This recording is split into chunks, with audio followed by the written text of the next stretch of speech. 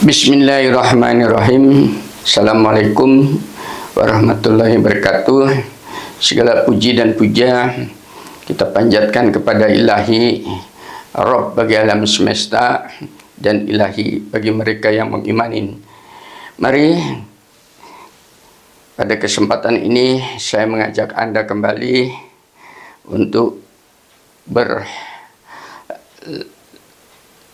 buana pada dunia pengetahuan mudah-mudahan kita akan dibimbing semakin luas, semakin bijak dan terjadi peningkatan kesolehan kita.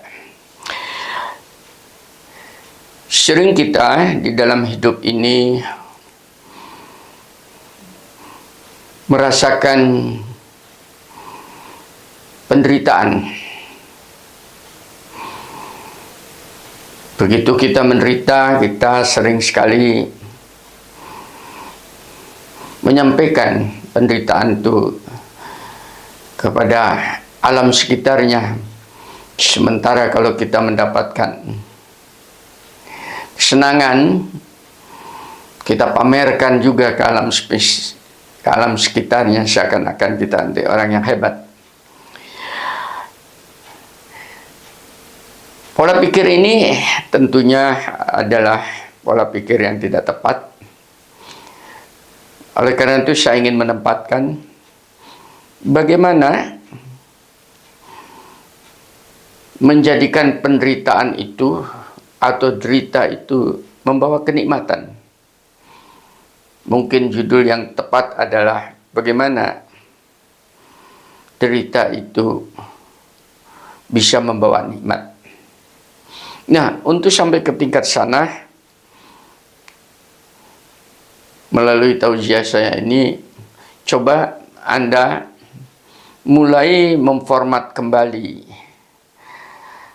merubah cara berpikir yang selama ini menjadi rujukan hidupnya dengan cara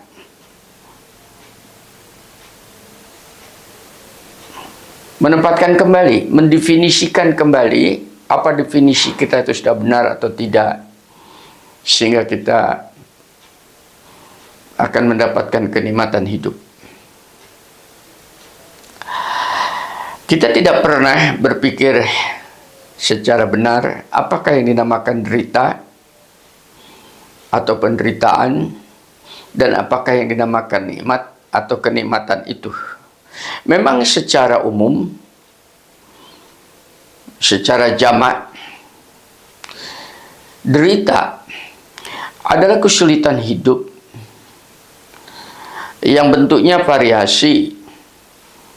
Bisa karena sakit, bisa karena tidak punya pekerjaan, bisa karena tekanan batin dan sebagainya, bisa karena tidak punya jodoh, bisa karena perceraian, macam-macam. Menyebabkan hati ini menjadi sedih, sedih, gundah gulana, stres, panik, dan sebagainya. Itu kaidah atau pemahaman yang selama ini kita rasakan.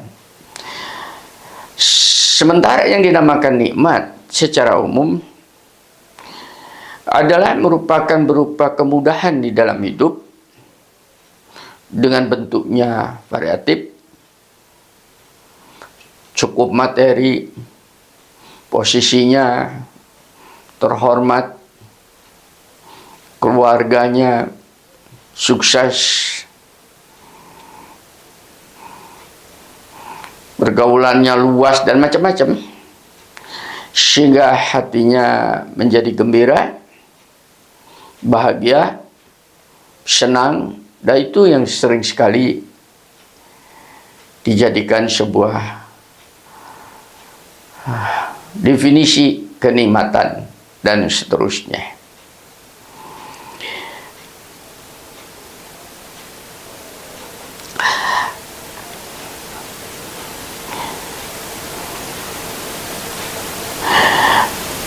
Melalui tauziah saya ini, saya ingin mendasarin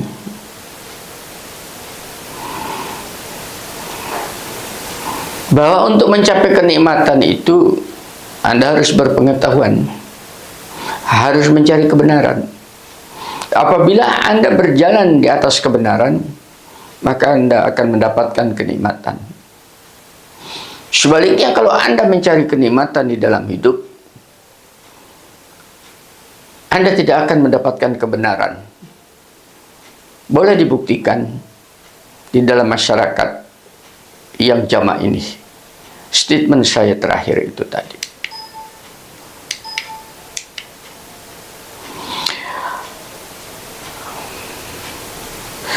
Mari kita pandang kedua hal ini berdasarkan referensi ilahi supaya kita bisa menempatkan baik yang namanya derita maupun nikmat dan menjadikan penderitaan hidup ini justru membawa kenikmatan. Pandangan pertama di dalam Al-Quran ini. Anda bisa lembari surat An-Nisa surat keempat ayat 79. Saya bacakan. Apa saja nikmat yang kamu peroleh. Tadi yang saya katakan nikmat-nikmat yang Anda punyai itu Anda dapatkan saat ini. Semuanya itu adalah dari Allah. Diberikan oleh Allah. Dan apa saja penderitaan bencana yang menimpa diri kamu, maka itu adalah akibat dirimu sendiri. Dalam statement pandangan pertama ini, Allah membedakan semua kebaikan dari Allah, semua keburukan dari dirimu sendiri.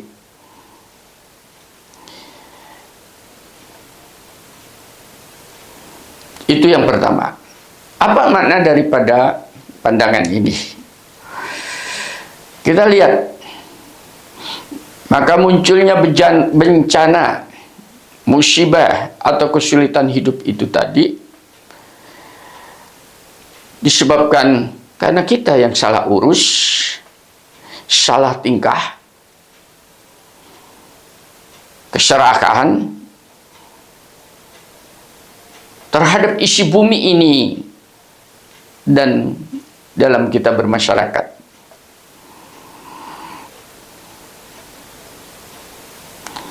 Yang pada dasarnya bumi dan manusia ini ada maksud tertentu yang sudah dipaket oleh Allah. Peruntukannya masing-masing, tapi kita salah tingkah. Maka akibatnya bencana menimpa kita diri sendiri.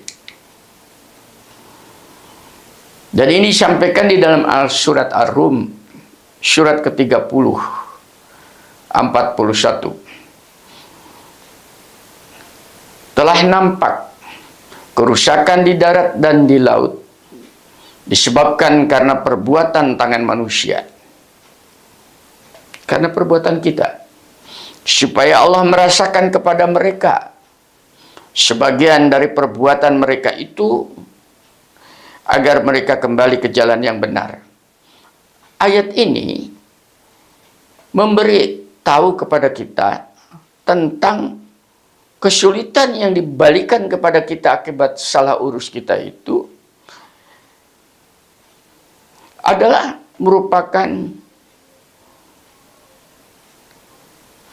bersifat edukatif, pendidikan. Supaya kita memiliki efek jerak, tidak diterus-teruskan. Jadi di sini sifatnya adalah edukatif atau pendidikan. Bukan hukuman. Ini saya kembalikan. Sering sekali ini kalau kamu berbuat dosa maka akan disiksa oleh Allah. Tidak begitu. Kalau Allah suka menyiksa, orang yang ngomong begitu sudah lama disiksa Allah. Karena kau pula tidak akan lepas daripada kesalahan itu. Maka di sini kalau ada kesalahan yang kita perbuat itu tadi dirasakan penderitaannya oleh kita sifatnya edukatif supaya diperbaiki pelajaran agar supaya kita jerah. Itu di dalam surat Ar-Rum 30 41. Maka efek cira itu jika tidak direspon oleh kita dablek tetap saja di dalam kesalahan maka penderitaan itu akan menjadi siksaan untuk kita karena sakitnya penderitaan menjadi siksa yang berkepanjangan, baik di dunia dan sampai di akhirat pertanggungjawabannya itu tadi. Jika direspon oleh kita, kemudian kita jerak, kita perbaikin, kita tinggalkan kesalahan kita. Itu yang dinamakan taubat. Maka dijamin solusinya oleh Allah sebagai kelompok orang yang telah memperbaiki dirinya. Itu hanya dua, direspon atau tidak. Kalau kita memperbaiki diri dan kita itu jerat, maka surat Al-Maidah, surat kelima ayat 39, memberikan hiburan, memberikan jalan keluar pada kita. Maka barang siapa bertobat, jerah dengan perbuatan kelirunya itu perbuatan melakukan kejahatannya itu tadi kemudian dia memperbaiki diri. Ada memperbaiki diri.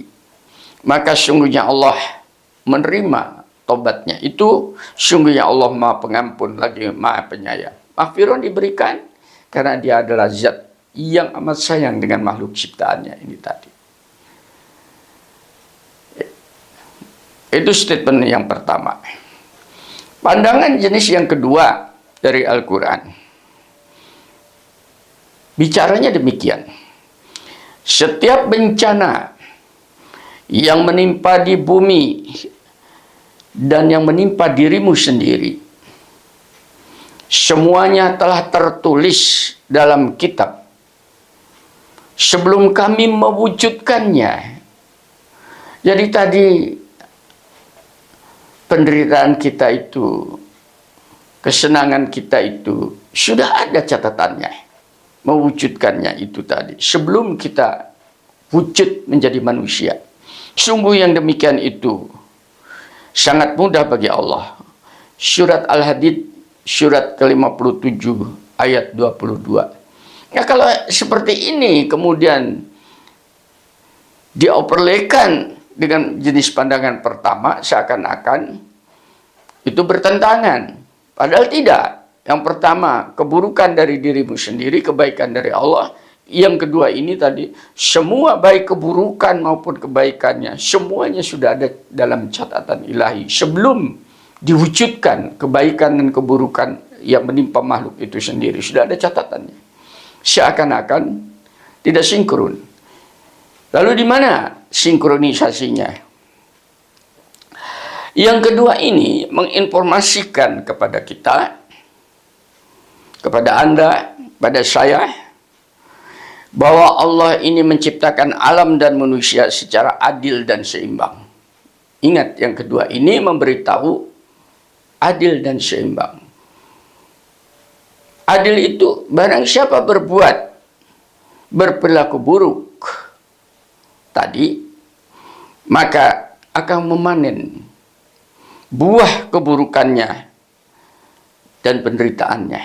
Itu adil, otomatis karena pilihan Anda yang selama ini memilih yang sekarang ditangkapin oleh KPK dan sebagainya, itu panen buah Anda karena Anda memilih jalan yang salah. Kemarin polisi-polisi jenderal-jenderal kurang syukurnya akhirnya berbuat kemungkaran. Sekarang diadilin masukkan Nusa Kambangan dan mau dihukum mati. Nah, itu keadilan Allah karena anda telah memilih jalan itu risiko ada di tangan anda. Jika berperilaku baik dan benar tentu anda akan memanen kenikmatan dan kebahagiaan. Itu maksud daripada yang kedua ini. Dua-duanya sudah tertulis. Berbuat buruk sudah tertulis panennya adalah penderitaan, berbuat baik panennya adalah kebahagiaan. Itu merupakan ketetapan hukum ilahi. Sudah terjawab informasi kedua. Jenis pandangan ketiga berbunyi demikian.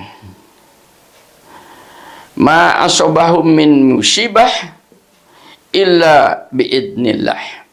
Tidak ada sesuatu musibah yang menimpa seseorang kecuali dengan izin Allah. Baik buruk itu adalah atas izin Allah. Wa may yu'mil wa may yu'mim wa may yu'mim billahi yahdi qalbah. Maka barang siapa beriman kepada Allah niscaya dia akan memberikan petunjuk bimbingan kepada hatinya untuk tetap berada di atas kebenaran bersamanya. Wallahu bikulli syai'in alim. Karena sesungguhnya Allah mau mengetahui terhadap segala sesuatu. Anda baca di dalam surat At-Tagabun surat ke-64 ayat 11. Pandangan yang ketiga atau statement Quran yang ketiga ini adalah sebelum Allah menciptakan alam raya ini seisinya maka yang dinamakan problema berupa kesulitan hidup pada manusia itu sudah dikonsep oleh Allah. Jadi problema itu sudah dikonsep oleh ilahi. Ikutan dibawa pada manusia itu. Dan jalan keluarnya way out-nya itu tadi, pertolongan, solusinya juga sudah terkonsep oleh Allah. Sudah ada di sana. Allah tidak menciptakan asal-asalan. Sangat detail. Yang kedua, memberikan informasi kepada kita bahwa musibah yang menimpa diri kita itu yang disebut tadi musibah dari Allah itu kecuali dengan izin Allah itu tadi musibah yang menimpa kita dengan izin Allah itu tadi artinya apabila kita di dalam hidup sesuai dengan rujukan ilahi dan kemudian kita mendapatkan musibah maka musibah yang datang kepada diri kita itu harus diterima sebagai kehendaknya Allah menghendaki kita dikasih musibah untuk apa? Untuk menguji iman Anda tentang hadirnya Allah pada diri kita. Iman Anda tentang bahwasanya adalah solusi tangan Allah. Iman Anda bahwa kita itu makhluk yang tetap akan dijaga dan dipelihara oleh Allah. Itu ke sana. Untuk itu kita harus menerima keikhlasan dengan ikhlas dalam penderitaan itu tadi maka justru siapa tahu itulah cara Allah memelihara makhluknya. Kita tidak tahu. Karena begitu luas dan begitu dalamnya pengetahuan dari ilahi. Kita hanya setitik.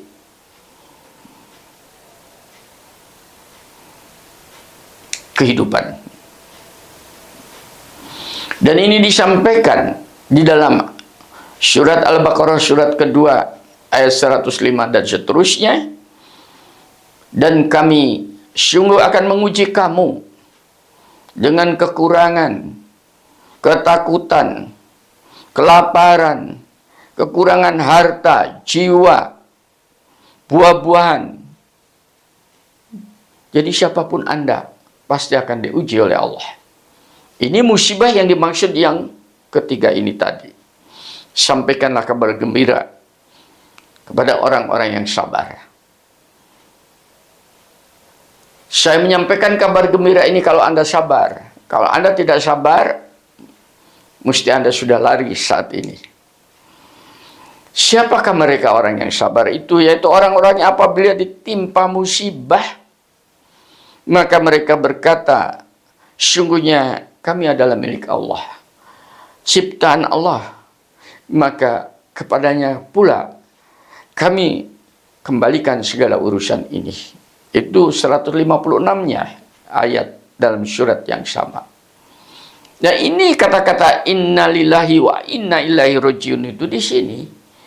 Pada saat kita menderita, kita kembalikan kepada Allah. Sebagai wujud bahwa kita mengimani zat yang maha hidup ini tadi.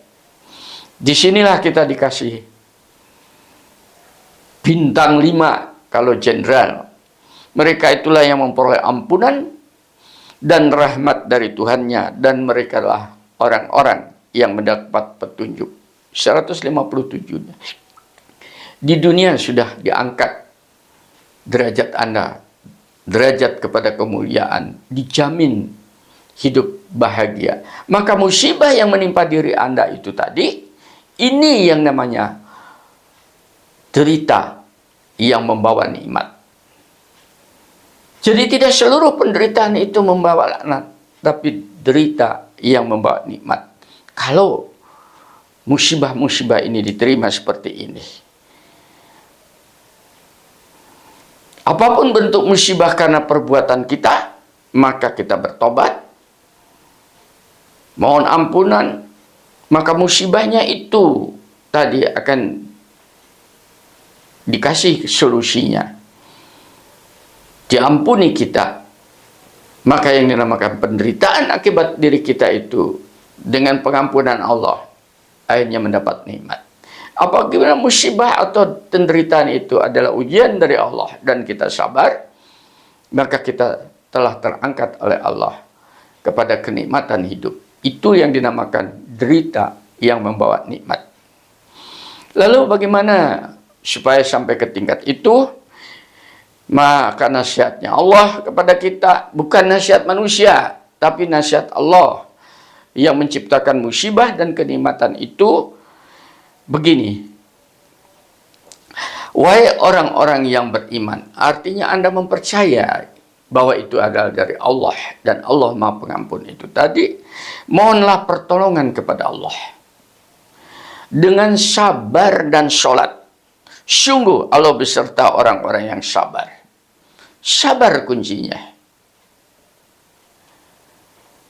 Saya pun untuk menyampaikan kebenaran kepada Anda ini setiap saat, setiap waktu. Saya belajar memohon kepada Allah agar dikasih sabar. Karena saya tidak kenal Anda. Dan di antara Anda kebanyakan juga hanya mendengar saja kemungkinan tidak merespon. Saya sabar terhadap perilaku perilaku Anda. Apakah Anda mau mendekat atau tidak? Saya pun sabar. Yang penting, saya dikasih kesempatan oleh Allah untuk menyampaikan firman-Nya kepada Anda dan sudah sampai. Untuk saya, itu segala sesuatu yang bukan main. Dan sholat, kenapa sholat? Sholat adalah bentuk operasional dari kesabaran itu sendiri. Bayangkan, hanya orang-orang yang sabar itu tadi. Yang betul-betul sholatnya itu dilakukan dengan khusyuk, sabar dan mengerjakan sholat, dan sholat itu dengan khusyuk itu agak berat eh, bagi mereka yang sholat itu berat sekali untuk melakukannya itu dua-duanya baik sabar atau sholatnya itu tadi berat untuk dilakukan setiap orang kecuali orang-orang yang khusyuk. Siapa itu yang khusyuk? Yaitu orang yang meyakini bahwa mereka akan menemui Tuhannya dan bahwa mereka akan kembali kepadanya. Yaitu surat Al-Baqarah 45 dan Al-Baqarah 46.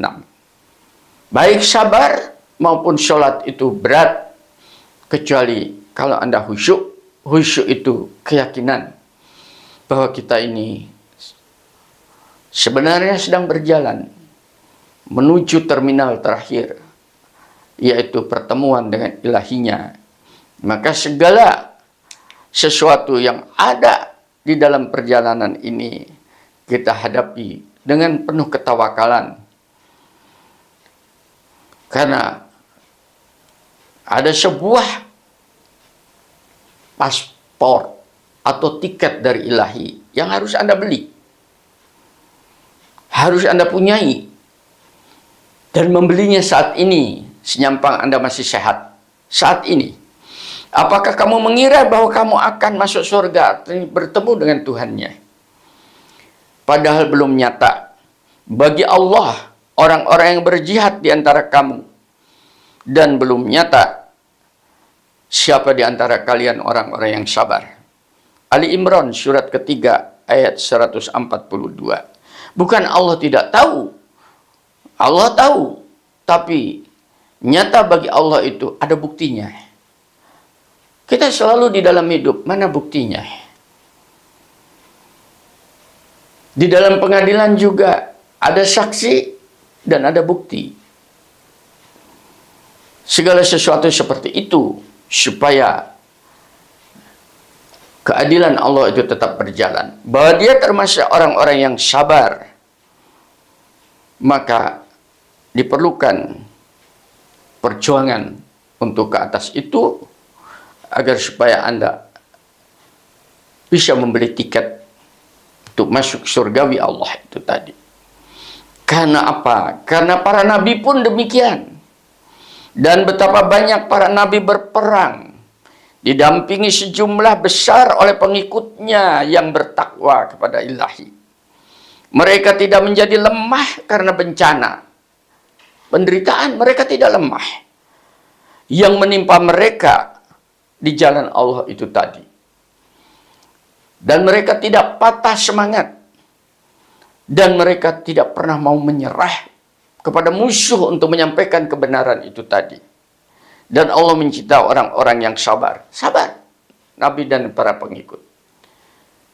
Mudah-mudahan saya dan Anda yang selama ini mengikuti tausiah saya dimasukkan kelompok orang-orang yang sabar. Dalam rangka apa? Menyampaikan kebenaran. Sekelompok kecil orang yang menyampaikan kebenaran. Seluruh umat manusia. Mudah-mudahan kita mendapatkan tiket. Anda mendapatkan tiket lewat YouTube saya dan yang Anda amalkan, saya insya Allah mendapatkan tiket. Lewat ceramah-ceramah saya seperti ini, tercatat menjadi orang yang istiqomah, sabar, bertawakal kepada ilahi. Dan sifat-sifat itu tidak akan dianugerahkan atau diberikan. Tadi yang istiqomah dan sungguh-sungguh penuh perjuangan kecuali kepada orang-orang yang sabar kembali. Dan tidak dianugerahkan kesabaran itu kecuali kepada orang-orang yang memiliki keberuntungan yang besar. Surat Fusilat 41 ayat 35. Di sini ada lihat kesabaran itu adalah ikhtiar kita manusia di dalam perjuangan Sedangkan keberuntungan yang besar itu adalah kehendak Tuhan. Mudah-mudahan saya dan Anda mendapatkan keberuntungan yang besar dari ilahi karena termasuk orang-orang yang sabar dalam menerima penderitaan karena kita tahu bahwasanya penderitaan apa pun Apabila itu akibat perbuatan kita sendiri, tetap akan menghasilkan nikmat apabila kita bertobat dan memperbaiki diri.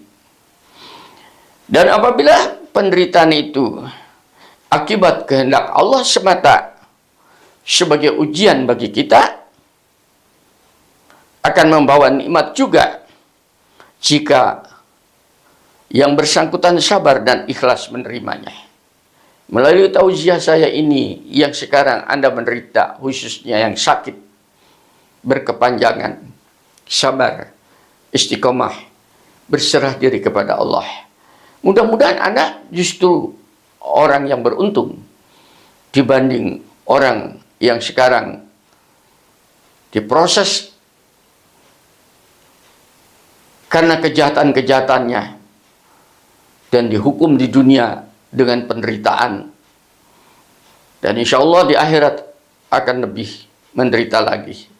Anda lebih beruntung daripada mereka yang tamak, serakah, sehingga mereka tidak sempat untuk bertobat kepada ilahi. Dari tempat yang jauh, saya doakan kepada Anda semua, mudah-mudahan Anda istiqomah bersama saya di dalam mempertahankan menyampaikan kebenaran dan kita tetap istiqomah dalam kesabaran untuk menerima, menerima penderitaan hidup ini tadi sebagai jalan untuk mendapatkan kenikmatan di akhirat dan kenikmatan juga di dunia bahwa kita termasuk orang-orang yang sabar dan beruntung. Walhamdulillahirabbil alamin. Assalamualaikum warahmatullahi wabarakatuh.